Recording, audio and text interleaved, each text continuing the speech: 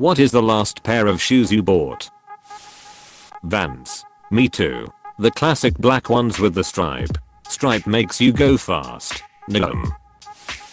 I bought a pair of black Nikes to wear while teaching. I tried them on in the store. Bought them. Took them home. And never wore them again. Here's why. When my class was walking back from lunch, I heard a kid slapping his feet as we walked. I turned around to look at him and noticed he was slapping his feet because his shoes were literally falling apart. So, I pulled him aside, told him I had a pair of shoes I didn't need, and asked if he wanted them so I didn't have to throw them out. Needless to say he was ecstatic. So I called his mom and asked her if it would be okay to GVE them to him. She was happy about it. So I gave him them. I'm still wearing my old shoes. And I'm okay with that. I'd give you an award, but I can't RN. Someone give this man an award. It's the least we can do. Slippers. Quarantine style is popping y'all. Me too. Winter and Izome and we bought tall slash calf high. Genuine sheepskin Ugg boots. Feel like a hug for your feet. Scooby-Doo Converse. Worth every penny. A pair of black Nike running shoes. Classic. Doc Martens 1460. I get a lot of compliments about them at work. Mostly because people don't expect to see docs with scrubs. One of the doctors I work with actually checked the schedule to see when we would work together again, so he could wear his a match.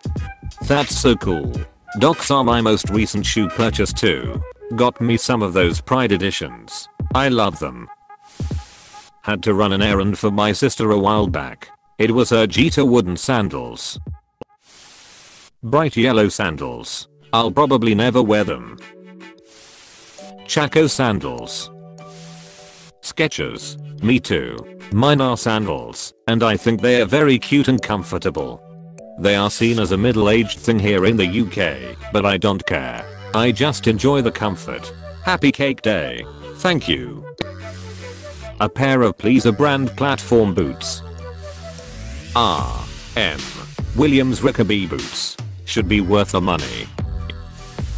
Puma managed to figure out my exact foot size, so I'm with them except for work boots. Salomon XA Pro 3D V8 GTX men's trail running shoe. Awesome shoe for hiking and biking. Black and white Adidas. I bought two pairs. Work sandals with toe protection. And work sneakers with overall protection. Some hiking boots from Mountain Warehouse. Black and white Adidas skate shoes. Real good. Would recommend.